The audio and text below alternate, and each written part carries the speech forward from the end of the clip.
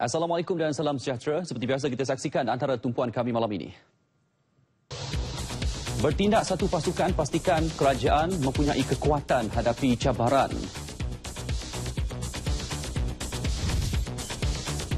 Dan juga ikrar Tan Sri Muhyiddin terus bekerjasama dengan Datuk Sri Najib.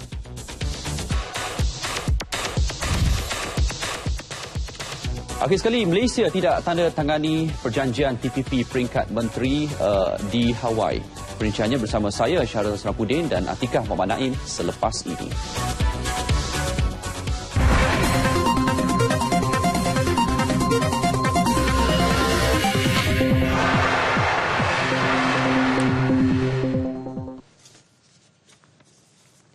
Tan Sri Muhyiddin Yassin menyatakan pendirian akan terus bekerjasama dengan Presiden UMNO Datuk Sri Najib Tun Razak dan parti komponen BN demi kepentingan rakyat dan negara. Biarpun tidak lagi memegang jawatan dalam kabinet, timbalan Presiden UMNO itu berjanji akan terus setia dan memastikan tanggungjawab yang diamankan dilaksanakan dengan baik. Assalamualaikum warahmatullahi wabarakatuh. Tan Sri Muhyiddin menegaskan demikian dalam sidang media pertamanya selepas digugurkan daripada kabinet. Saya pentingkan ialah parti, perpaduan parti. Saya tidak harus terlibat dalam usaha-usaha yang boleh menimbulkan perbalahan, uh, perpecahan. Menurut Tan Sri Muhyiddin, beliau akur dengan keputusan Datuk Sri Najib Tun Razak menggugurkan beliau daripada jawatan Timbalan Perdana Menteri dan memberi jaminan akan menjalankan tugas sebagai Timbalan Presiden Parti dengan penuh amanah. Kalau saya tidak memikul tanggungjawab itu bermakna saya pecah amanah. Saya tidak memikul tanggungjawab untuk membantu parti, rakyat atau negara, maka bermakna saya akan gagal dan melaksanakan tugas saya. Sebab itu bila saya digugurkan, satu saya terimalah ini mungkin sudah ditakdirkan. Tan Sri Midi menegaskan setiap perkara yang berlaku dilakukan tidak akan terganggu dengan situasi pengguguran beliau dalam kabinet dan mahu memastikan parti tidak berpecah belah. Perdana Menteri Datuk Seri Najib Tun Razak hari ini mempengerusikan mesyuarat pertama Kabinet selepas melakukan rombakan dengan melantik beberapa menteri baharu semalam. Mesyuarat di Perdana Putra menyaksikan kehadiran Menteri Baharu dan Lama iaitu Timbalan Perdana Menteri Datuk Seri Dr. Ahmad Sahid Hamidi, Menteri Pertahanan Datuk Seri Hishamuddin Tun Hussein juga Menteri Kesihatan Datuk Seri Dr. S. Subramaniam. Turut hadir anggota Jemaah Menteri Baharu iaitu Menteri Komunikasi dan Multimedia, Senator Datuk Seri Dr. Muhammad Saleh Tun Said Keruak, Menteri Perdagangan Dalam Negeri, Koperasi dan Kepenggunaan Datuk Hamzah Zainuddin, Menteri Sumber Asli dan Alam Sekitar Datuk Dr. Wan Junaidi Tuanku Jaafar dan Menteri Pendidikan Datuk Seri Mahzir Khalid. Turut hadir Menteri di Jabatan Perdana Menteri Datuk Seri Azalina Osman Said dan Menteri Perdagangan Antarabangsa dan Industri 2 Datuk Seri Ong Ka Chuan. Menteri Sains, Teknologi dan Inovasi Datuk Wilfred Madius Tangau tidak menghadirinya kerana dilaporkan berada di Itali.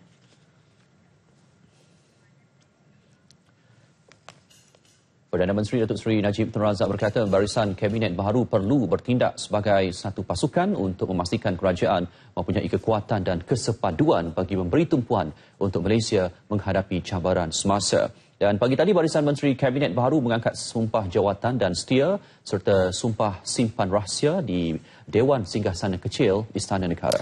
Majlis akad sumpah itu menyaksikan Menteri Perdagangan Dalam Negeri Koperasi dan Kepenggunaan Dato' Hamzah Zainuddin mendahului barisan menteri dan timbalan menteri mengangkat sumpah. Sumpah simpan rahsia.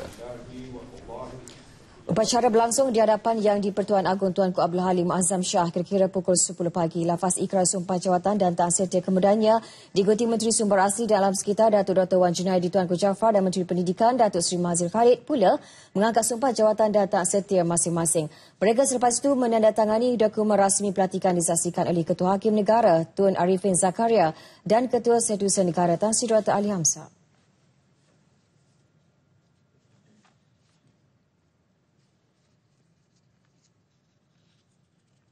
Upacara kemudiannya diteruskan oleh Menteri Komunikasi dan Multimedia Senator Datuk Seri Dr. Muhammad Saleh Tun Said Keruak, Menteri di Jabatan Perdana Menteri JPM Datuk Seri Anzalina Osman Said dan Menteri Perdagangan Antarabangsa dan Industri 2 Datuk Seri Ong Ka Chuan.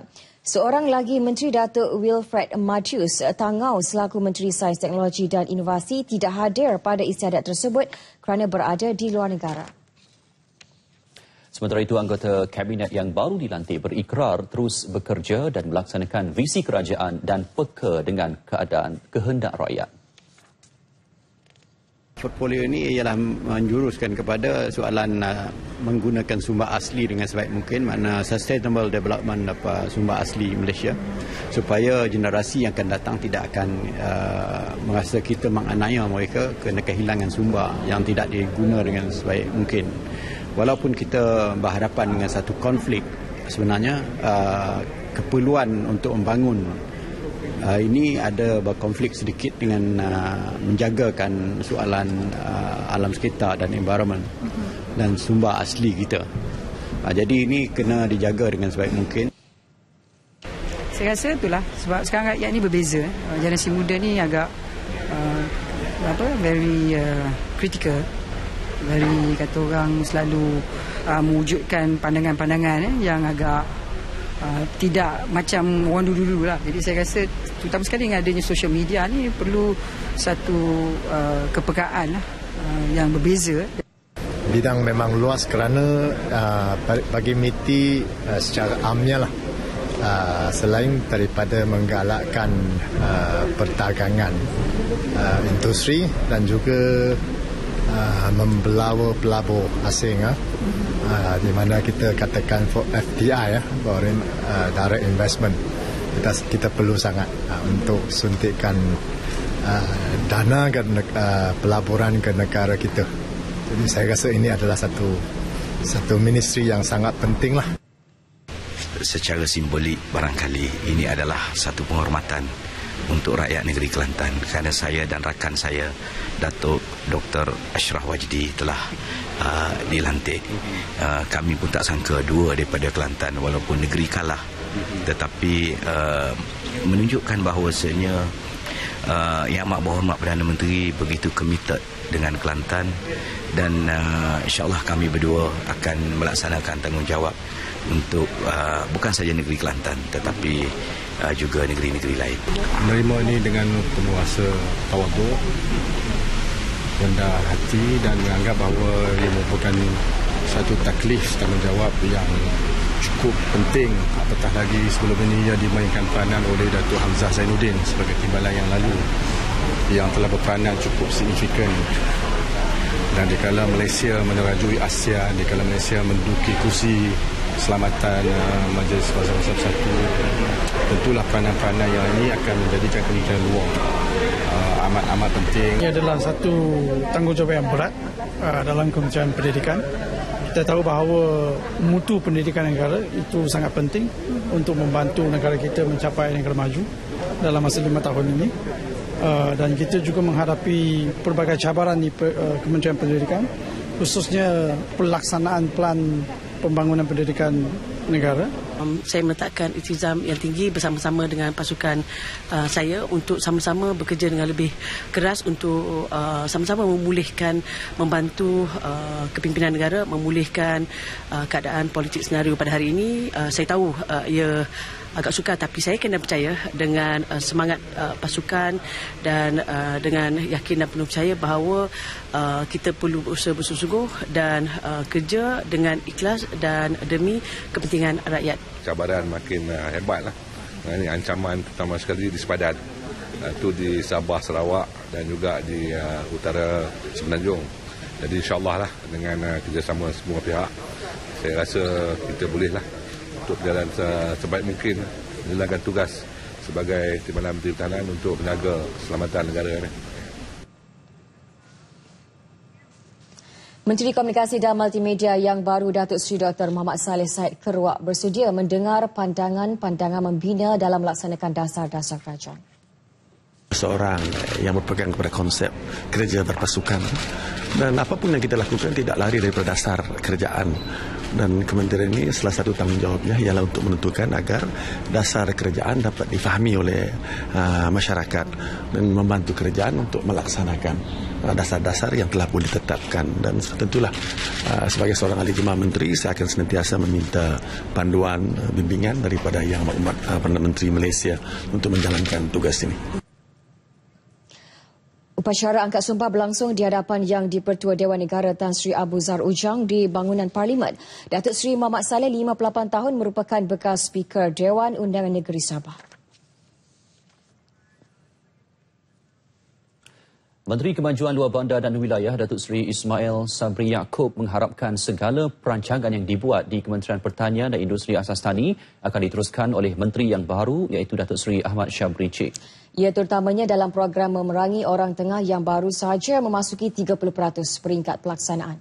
Pada masa yang sama, beliau yakin penggantinya itu dapat meneruskan dasar-dasar kementerian serta menambah baik segala program yang ada. Selain mengucapkan terima kasih atas kerjasama semua pihak dalam kementerian tersebut, beliau juga mahu semua agensi di bawahnya dapat memberi kerjasama dan sokongan penuh kepada menteri yang baru. Mengulas lanjut mengenai rombakan kabinet, beliau mahu semua pihak bertenang dan bersabar. Yang lebih penting adalah AMNO kita jangan jadikan ini sebagai satu isu untuk mewujudkan perpecahan. Saya percaya banyak tugas AMNO yang perlu kita lakukan dan apabila kita menangguhkan uh, pemilihan pada tahun 2016 tujuan kita adalah untuk semua ahli menumpukan perhatian kepada kerja-kerja ke arah pilihan raya. Beliau ditemui ketika menghadiri jamuan Hari Raya Kementerian Pertanian dan Industri Asas Tani. Bekas Perdana Menteri Tun Abdullah Ahmad Badawi berharap barisan kabinet baru dapat bertindak cepat dalam menyelesaikan isu-isu semasa. Rakyat menanti perubahan dan kebaikan yang akan dilaksana barisan kabinet baru. Mengulas barisan kabinet baru yang diumum semalam, Tun Abdullah mahu kesan rombakan dirasai di semua peringkat agensi pelaksana. Perhatikan timbalan Perdana Menteri Datuk Seri Dr. Ahmad Zahid Hamidi perlu diberi peluang untuk melaksanakan apa yang dirancang.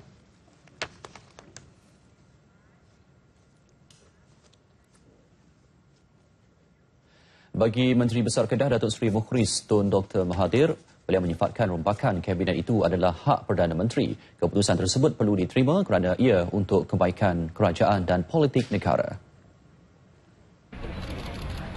saya rasa um, yang Muhammad Presiden tentu um, dah menilai um, sedalam-dalam mengenai apa reaksi dan persepsi ya, rakyat terhadap rombakan ini. Um, kerana tentunya kita berusaha untuk mengukuhkan kedudukan kita menjelang PRU 14 uh, dan um, uh, mungkin ada kajian-kajian tertentu yang telah dibuat uh, yang uh, uh, mengukuhkan rasional uh, terhadap keputusan yang telah beliau buat mengenai rombakan Beliau ditemui media pada Majlis Aidilfitri Persatuan Pegawai Takbir Negeri KCS di Inspin di Alustar. Mengulas pertemuan beliau dengan Tan Sri Muhyiddin Yassin malam tadi, katanya kunjungan itu sebagai ucapan terima kasih atas jasa timbalan Perdana Menteri selama ini.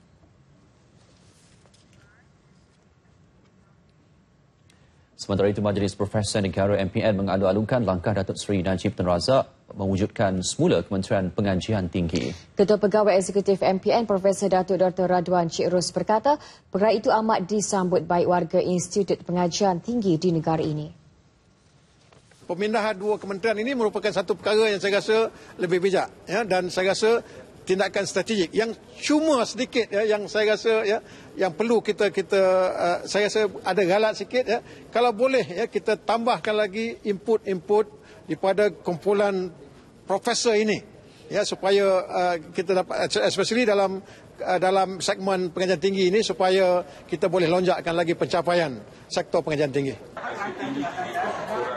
Golongan akademik juga menyifatkan langkah Perdana Menteri merombak kabinet berdasarkan keyakinan beliau kepada barisan kepimpinan baru adalah amalan biasa dalam negara demokrasi. Naib Chancellor Universiti Sultan Zainal Abidin Uniza, Profesor Datuk Dr. Yahya Ibrahim berkata, langkah strategik itu bagi menyusun pentadbiran dengan lebih baik untuk masa depan negara. Apa yang dibuat oleh Yang Amat Berhormat Perdana Menteri adalah satu tindakan yang tepat kerana beliau memerlukan satu pasukan kabinet yang mantap yang perlu memberi sokongan 100% tanpa berbelah bagi uh, terhadap uh, apa-apa keputusan yang ingin dibuat. Dan susunan kabinet baru ini saya mengharapkan uh, akan dapat melaksanakan tugas dengan lebih lebih baik dan lebih cemerlang. Profesor Datuk Dr. Yahya ditemui media di Kuala Lumpur selepas program advokasi ilmuan Majlis Profesor Negara dan Sambutan Adil Fitri Universiti Sultan Zainal Abidin Unisa. Rundingan Perdagangan Bebas FTA serta Perjanjian Kerjasama Trans-Pasifik TPPA adalah cabaran utama kepada dua jawatan menteri di Kementerian Perdagangan Antarabangsa dan Industri MITI yang diwujudkan. Presiden Dewan Perdagangan dan Industri Antarabangsa Malaysia Datuk Jalilah Baba menyifatkan tugas berat itu memerlukan pembahagian kerja efektif. Datuk Seri Ong Kah Chuan dilantik sebagai Menteri Perdagangan Antarabangsa dan Industri 2 bagi bekerjasama dengan Menteri Sedia Ada Datuk Seri Mustafa Muhammad. Namun sebagai anggota kabinet, perbezaan pendapat dan pandangan tidak sepatutnya uh, saya rasa ini adalah langkah yang baik dengan menambah uh, bantuan uh, kepada menteri kita dan dengan tambahan menteri yang diberikan itu dapat membantu uh, membahagikan masa dan membahagikan resources eh, sumber-sumber untuk uh, meneruskan kerja-kerja supaya menjadi lebih efektif. Datuk Jalilah yang juga merupakan bekas Ketua Pengarah Lembaga Pembangunan Pelaburan Malaysia MAIDA yakin pelantikan Datuk Ong Kah Chuan memberi nilai tambah kepada MITI. Memang tugas-tugas di MITI adalah agak berat di mana banyak perkara-perkara dan isu-isu yang perlu dibincangkan dan ditangani uh, secara berterusan. Uh, dan kebelakangan ini memang kita tahu MITI dalam proses dalam perbincangan dan negotiation dengan uh, mengenai TPPA dan uh, banyak uh, kerja-kerja yang terlibat di dalam uh, ASEAN AEC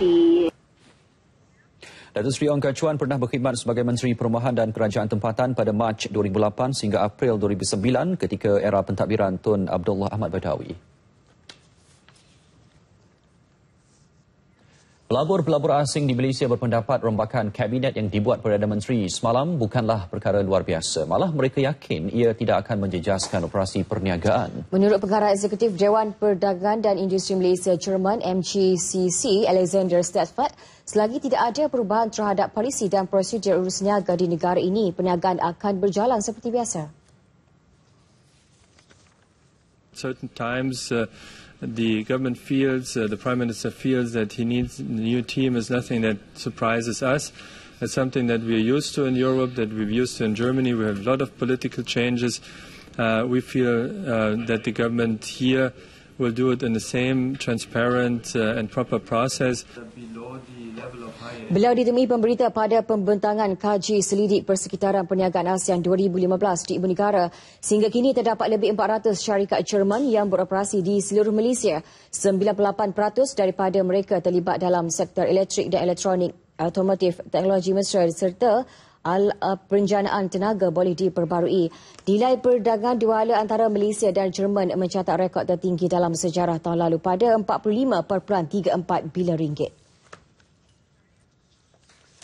Sementara itu, Malaysia akan terus meningkatkan kemampanan, mengurangkan defisit dan memastikan hutang negara berada pada paras yang boleh diurus. Komitmen itu disuarakan Perdana Menteri Datuk Seri Najib Tun Razak dalam entry terbarunya di laman Twitter. Semalam, pejabat Perdana Menteri PMO menyatakan rasa puas hati dengan pengesahan penarafan kredit Standard Poor's S&P dalam pelbagai kategori A bagi penarafan kredit jangka pendek dan jangka panjang bagi Malaysia.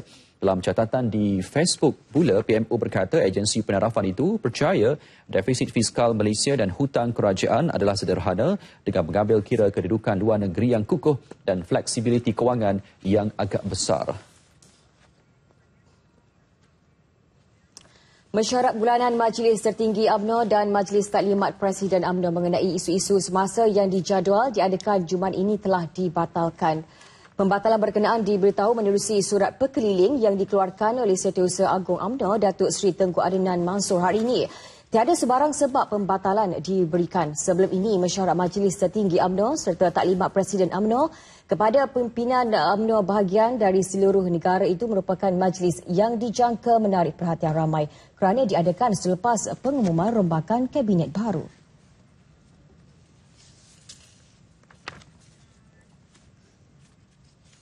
Perkhidmatan Tan Sri Abdul Ghani Patail sebagai peguam negara yang ditamatkan semalam dibuat mengikut peruntukan Perlembagaan Persekutuan. Demikian menurut peguam negara yang baru Tan Sri Muhammad Apandi Ali dalam satu kenyataan hari ini bagi menjawab pelbagai spekulasi yang timbul.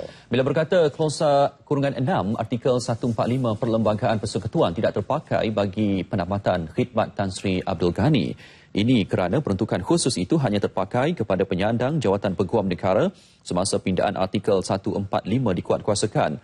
Perkara itu dinyatakan dengan jelas dalam klausa kurungan 6 artikel 145 dengan peguam negara ketika itu Cecil M. Sheridan yang berkhidmat dari tahun 1959 hingga 1963. Oleh itu, cara penyingkiran yang disebut dalam fasal kurungan 6 perkara 145 tidak terpakai kepada peguam besar yang dilantik selepas 16 September 1963. Justru tiada isu ketidakpatuhan perlembagaan persekutuan mengenai pembuangan kerja dan penurunan pangkat yang terkandung dalam perkara 135.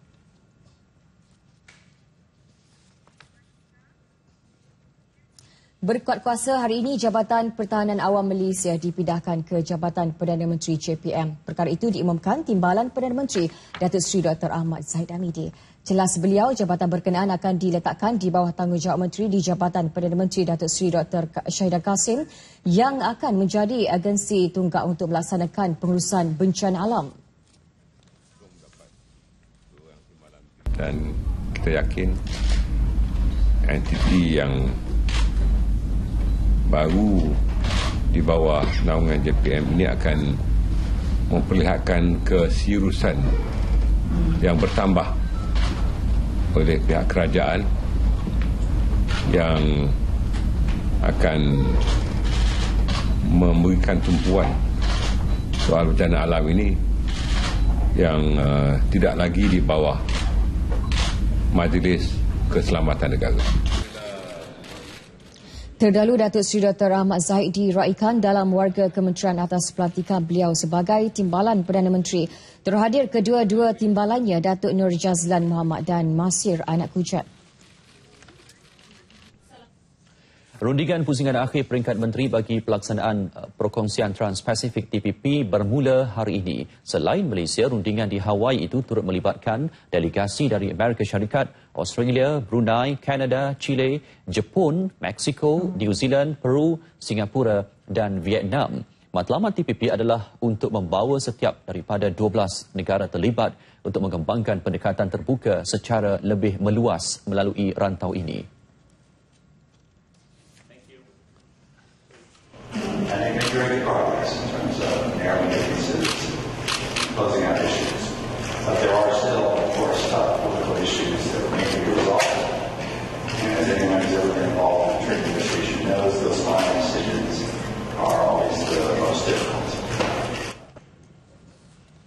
Perdana Menteri Datuk Seri Najib Razak sebelum ini menyatakan TPPA hanya akan diterima jika mengikut acuan dan kehendak rakyat Malaysia.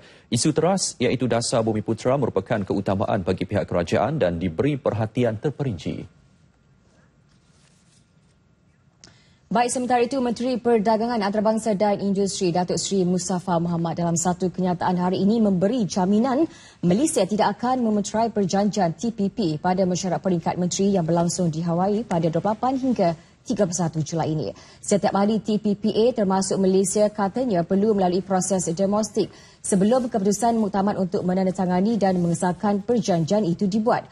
Beliau yang mengetuai pasukan perunding Malaysia yang meliputi pakar daripada 20 kementerian dan agensi akan memastikan perlembagaan, kedaulatan dan dasar utama negara termasuk kepentingan masyarakat di Bumi Putra dilindungi. Objektif utama masyarakat ini bagi memastikan kepentingan dan kebimbangan Malaysia ditandatangani. Selepas lima tahun rundingan TPPA dijalankan, ia semakin hampir mencapai kemuncaknya dan di peringkat ini negara-negara terlibat perlu membuat keputusan yang sukar. Antara yang dibimbangi utama segelintir pihak berhubung TPPA ialah dakwaan bahawa harga ubat-ubatan akan meningkat tinggi akibat daripada perlindungan paten. Datuk Seri Mustafa berkata pada hakikatnya klausa perlembagaan paten dalam TPPA tidak berbeza daripada peraturan Malaysia sekarang bagi perkara berkenaan. Mengenai Islam pula, beliau memberi jaminan tidak ada apa dalam TPPA yang boleh mengancam kedudukan Islam sebagai agama rasmi Malaysia. Kerajaan tidak akan membenarkan sebarang FTA yang boleh menjejaskan peruntungan perlembagaan itu.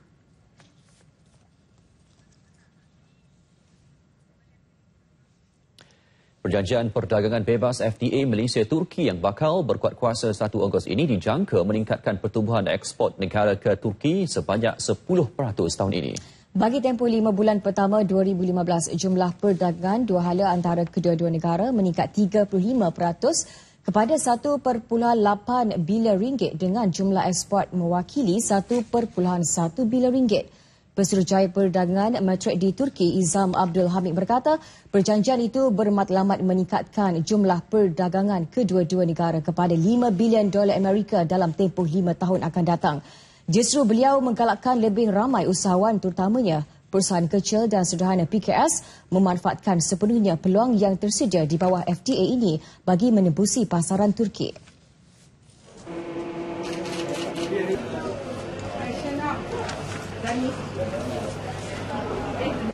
Uh, di antara produk yang mungkin uh, boleh uh, uh, syarikat-syarikat Malaysia uh, beri tumpuan. Antaranya contohnya sebagai uh, contoh sektor makanan ya. Uh, uh, produk uh, buah-buahan uh, tempatan uh, seperti uh, belimbing uh, dan juga karambola ya. Uh, ianya akan Uh, mendapat manfaat dari segi pengurangan duty. Sekitar 100 syarikat PKS telah menembusi pasaran Turki kini telah mengeksport pelbagai produk dan perkhidmatan antaranya makanan, produk getah, minyak sawit serta elektrik dan elektronik. Majlis Keselamatan PBB hari ini mengundi untuk menubuhkan satu tribunal antarabangsa bagi mendakwa pihak yang menembak jatuh pesawat MAS MH17 di Ukraine setahun lalu. Malaysia yang menjadi anggota majlis 15 anggota itu sehingga 2016 mengedarkan draft resolusi mengenai penubuhan tribunal tersebut untuk mengheret pihak, bertang- pihak bertanggungjawab ke muka pengadilan. Draft mengenainya merupakan cadangan bersama dengan Australia, Belanda, Belgium dan Ukraine. Bagaimanapun cadangan itu mendapat tentangan dan ditolak oleh Rusia yang juga merupakan anggota tetap yang mempunyai kuasa veto di Majlis Keselamatan bersama dengan Perancis, Britain, China dan Amerika Syarikat. Rusia mempunyai pilihan menyekat cadangan itu.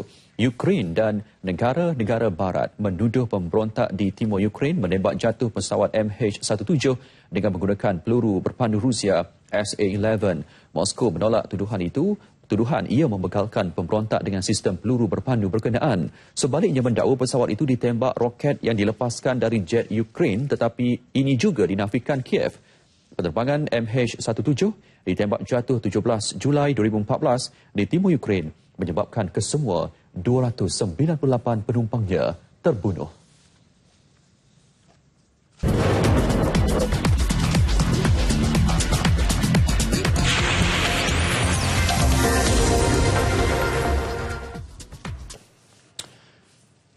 Baik, Sukan Nasional malam ini saya mulakan dengan bola sepak. Presiden Persatuan Bola Sepak Malaysia, FAM, Tengku Abdullah Sultan Ahmad Shah menyuarakan rasa kurang setujunya dengan cadangan menggunakan pemain naturalisasi atau pemain import dalam skuad kebangsaan. Tidak baginda kajian teliti dan menyeluruh perlu dibuat sebelum cadangan itu dilaksanakan. Presiden FAM Tengku Abdullah Sultan Ahmad Shah berkata bagaimanapun pada masa ini keutamaan harus diberikan kepada pembangunan bola sepak di dalam negara yang masih belum menunjukkan hasil yang memberansangkan. Menyatakan di sini uh, kita harus memberi keutamaan pada program-program development pembangunan sendiri. Kalaupun uh, kita rasa kita uh, mempunyai tidak mempunyai semangat atau player tidak mempunyai semangat untuk beraksi uh, lebih jauh mungkin uh, tak ada makna lah pokoknya players itu nak bermain sejauh mana. Kalau setakat nak jadi jaga kampung saja kita buat sekadar jaga kampung saja. Kalau nak pergi jauh kita kena fikir secara jauh.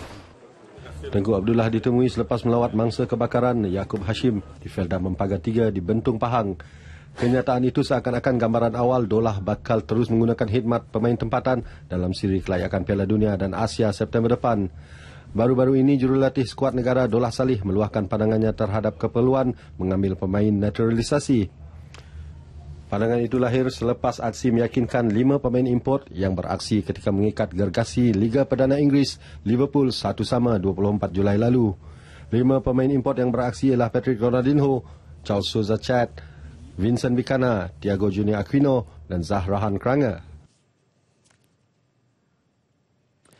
Baik, seterusnya kita beralih ke Liga Super. Kelantan mencatat kemenangan terbesar musim ini selepas membelasah Angkatan Tentera Malaysia 5-1 dalam perlawanan tunggal Liga malam tadi. Bagaimanapun, kemenangan TRW tidak mengubah kedudukan pasukan itu yang kekal di tangga ke-9 dengan 18 mata. Kelantan memanfaatkan kelebihan beraksi di Stadium Sultan Muhammad keempat dengan kemenangan kelima Liga. TRW membuka tirai jaringan seawal minit ketiga menerusi pemain import dari Colombia Erwin Carrillo yang memanfaatkan hantaran daripada Gilmada Silva. Kegembiraan pasukan tuan rumah tidak bertahan lama apabila pemain sayap ATM Venice Elfi menyamakan kedudukan selang lima minit kemudian menerusi rembatan kencang.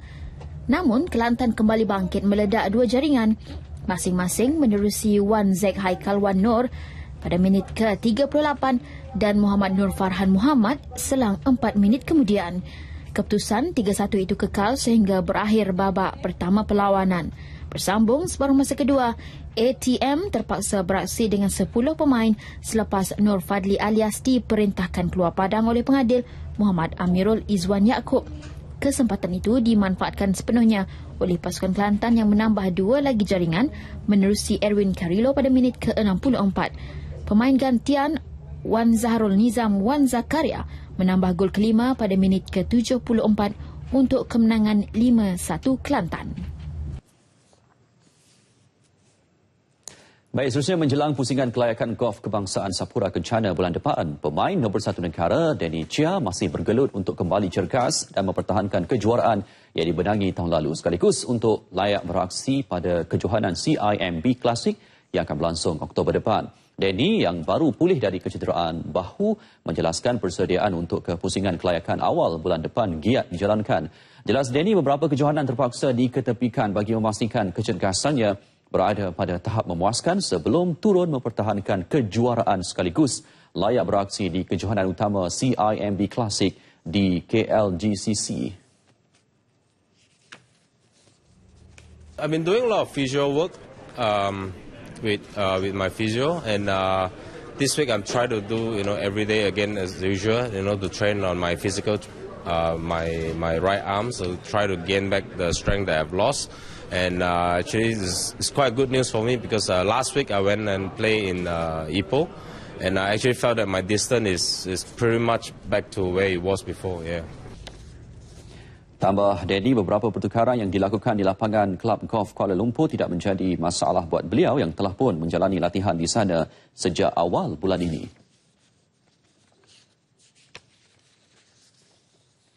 Par five now is is you know the last hole. I think I quite like the changes because it's making more sense now that it makes player to take driver to hit off the tee, you know, so that they had a chance of going near the green, compared to before they they, they actually force you to lay up. You know, um, I think the course overall has been uh, very good shape, and uh, yeah, I'm looking forward to play it. Yeah.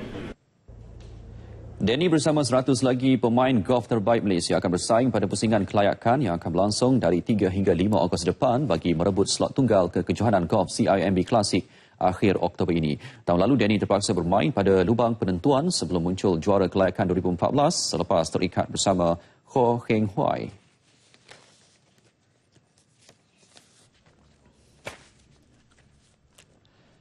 Sementara itu, pengarah eksekutif kejohanan CIMB Classic, Todd Richard, menjelaskan edisi keempat ini amat penting buat wakil negara memungut mata dalam ranking dunia dalam misi melayakkan diri ke Sukan Olimpik Rio 2016. To give uh, Malaysian golfers an opportunity to compete against the best players in the world on the PGA Tour as well as the Asian Tour. Um, and to see, I think it is 13 players from Malaysia ranked inside the top 1,000 uh, in the world golf rankings.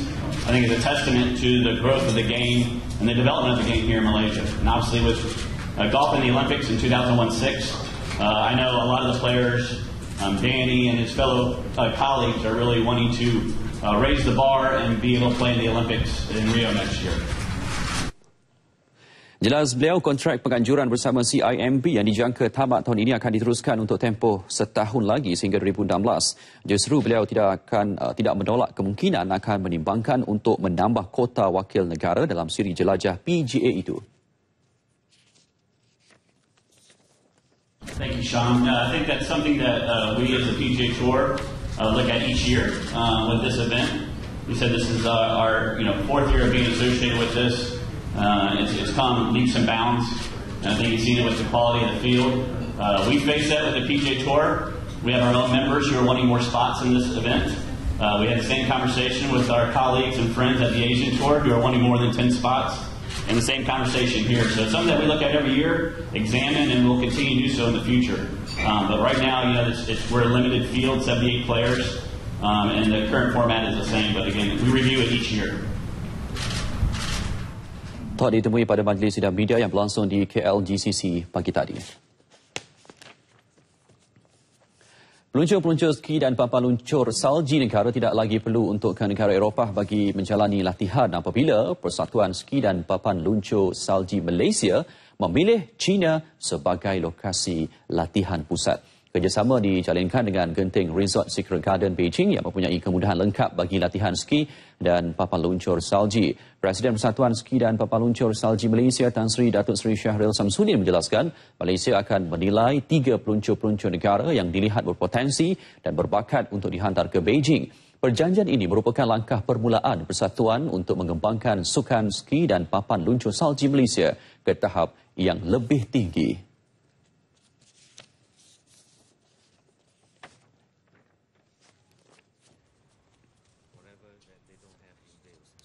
We are already hosting uh, other national teams, and we don't see why we shouldn't host Malaysian teams aspiring to uh, compete at the highest uh, international level.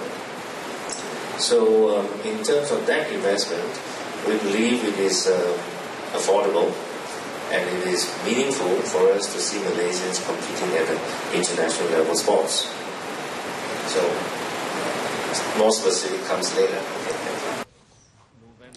Perjanjian dimenterai di antara Persatuan Ski dan Papan Luncur Salji Malaysia yang diwakili Tan Sri Datuk Sri Sahril Samsudin dan pengerusi Genting Secret Garden Datuk Lim Chi Wah hadir menyaksikan perjanjian persefahaman ini timbalan pengarah Majlis Sukan Negara Datuk Abdul Jalil Abdullah dan Setiausaha Majlis Olimpik Malaysia Datuk Sieh Kok Chi.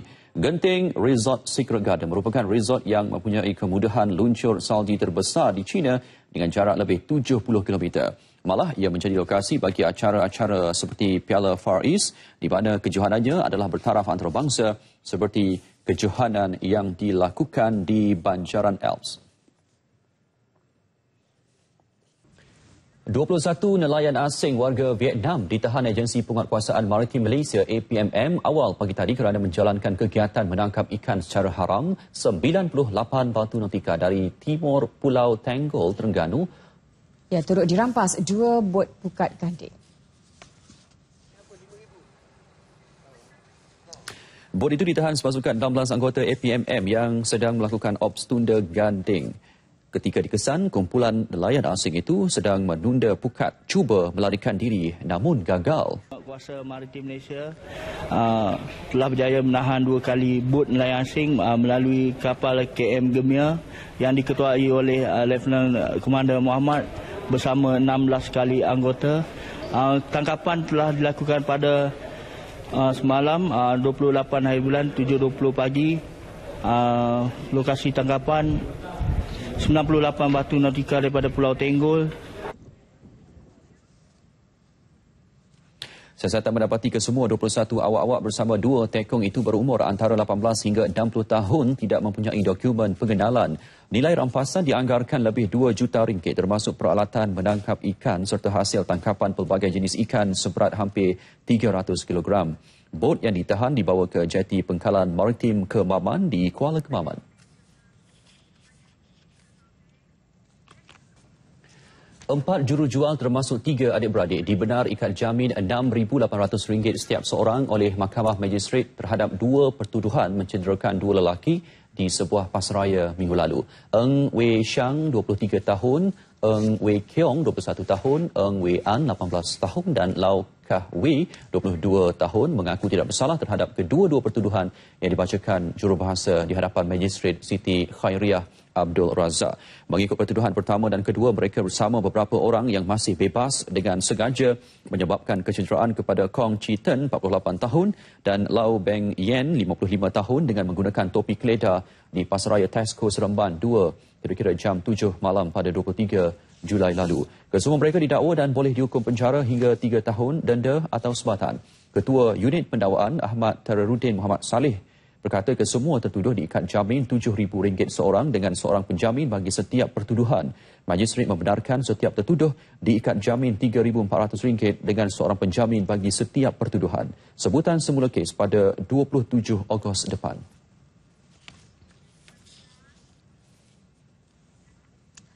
Pelantikan bekas Speaker Dewan Undangan Negeri Dun Sabah Datuk Seri Saleh Tun Said sebagai Menteri Komunikasi dan Multimedia merupakan peluang terbaik untuk kementerian untuk memberi penerangan efisien mengenai status dan imej sebenar Sabah dan juga Sarawak. Menteri Pelancongan, Kebudayaan dan Alam Sekitar Datuk Seri Panglima Masih Dimanjun berkata, Kementerian Komunikasi dan Multimedia bertanggungjawab memberi gambaran jelas dan mengelak tanggapan salah mengenai kedua-dua negeri itu dalam kalangan rakyat di Semenanjung.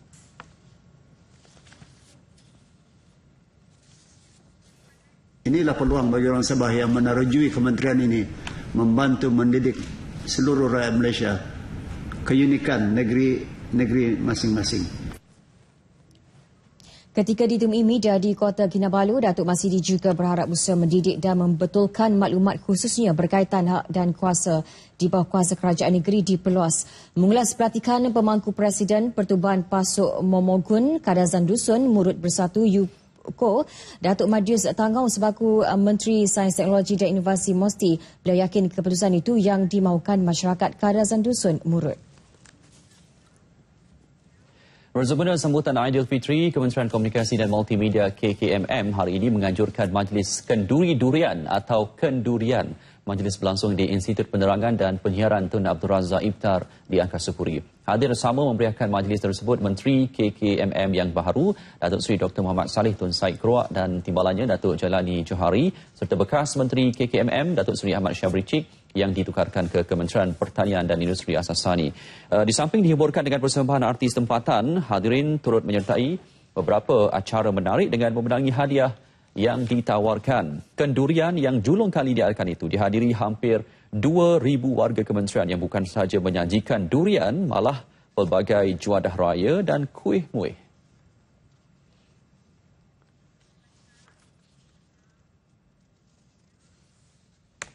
Sementara itu bagi Datuk Jalani Johari yang kekal sebagai Timbalan Menteri Komunikasi dan Multimedia menerusi rombakan Kabinet 2015 berkata beliau akan terus bekerjasama dengan Datuk Seri Saleh untuk memantapkan lagi misi dan visi kementerian.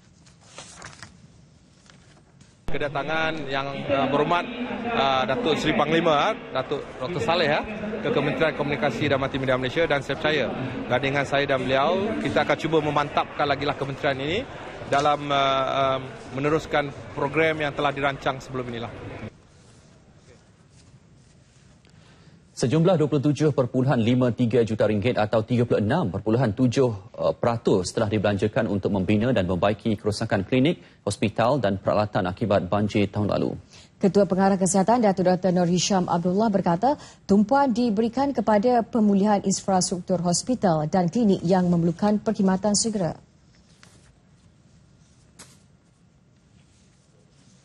Menurut Datuk Dr. Nur Hisham, kementerian juga menekankan pembinaan klinik baru di kawasan strategik bagi mengatasi banjir pada masa akan datang.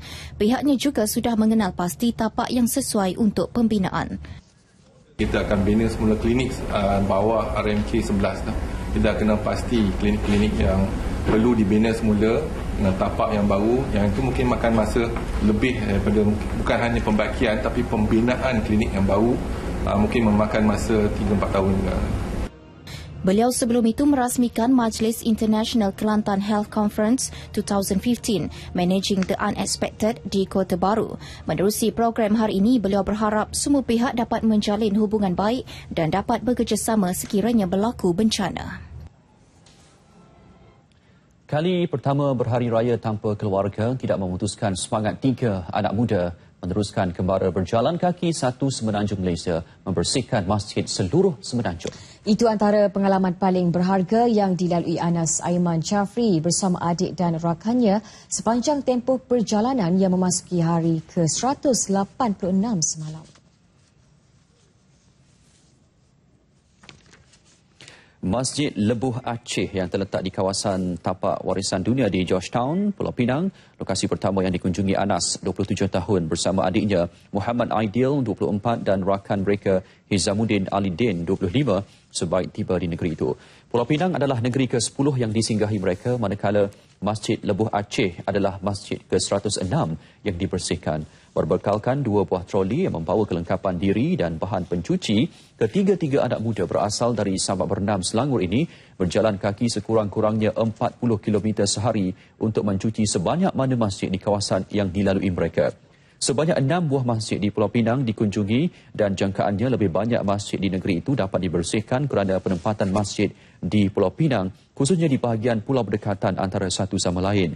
Menurut Anas, pahit manis pengalaman yang ditempuhi tidak mematahkan niat mereka untuk meneruskan usaha tersebut yang sekaligus dapat mendekat dan mendidik masyarakat untuk mengimarahkan masjid. Katanya kebanyakan tempat dikunjungi tidak kira penduduk tempatan atau pihak pengurusan masjid memberi penerimaan yang baik melalui usaha yang dilakukan.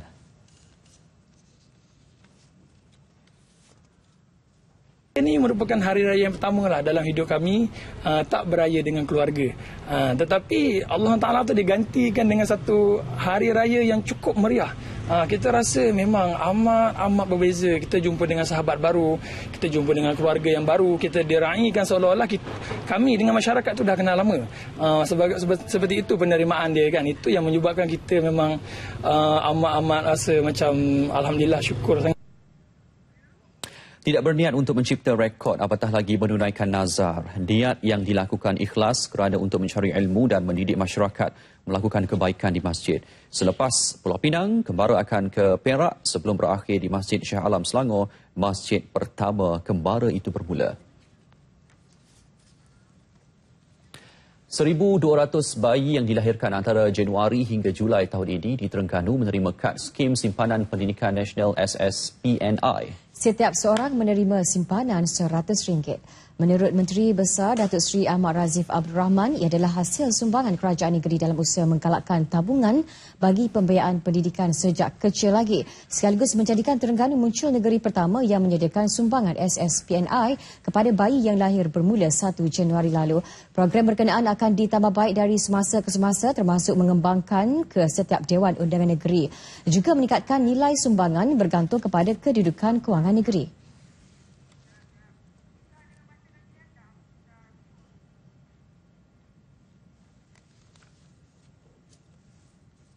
Selepas daripada ini kita akan kembangkan di peringkat dong-dong. Jadi selepas daripada ini akan diteruskan uh, dan kita akan melihat semula lah untuk menambah baik beberapa perkara sebab kita memang memerlukan supaya pertambahan rakyat Tengganu ni berlaku dengan kadar yang lebih tinggi. Uh, untuk kita membuat persiapan menghadapi uh, negeri maju 2020 sebab negeri maju ni dia rakyat pun kena ramai Beliau berkata demikian kepada pemberita di Majlis Pelancaran Program Sumbangan SSPNI kepada bayi lahir tahun 2015 di Kuala Terengganu. Kami berterima kasih kepada Kerajaan Negeri Terengganu dan sumbangannya kami dapat menabung daripada awal untuk anak kami untuk masa akan datang. Saya harap program ini agak disambung pada masa-masa yang seterusnya lah. Ha, masa-masa akan datang. Ha, itulah. Ha. Sebab mana boleh bagi manfaat lah kepada anak-anak orang-orang yang susah mana. Ha. Ha, menabung dari kecil. Nak agak awak diri payah dah. Pada majlis berkenaan, beberapa bayi turut ditahnik dan dicukur jambul.